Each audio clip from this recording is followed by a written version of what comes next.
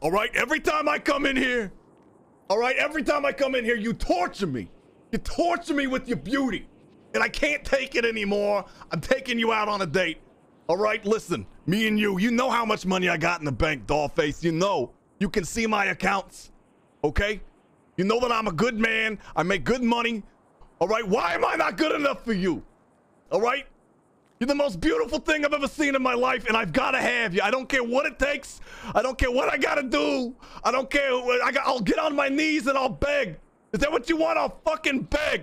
All right? I have to have you in my life, even as a platonic friend. I've just never seen somebody apply the damn eyeliner so thick and so good. All right? Oh, what's that? Did you find some? Is that a pin? Toilet paper? No, no, we need cash.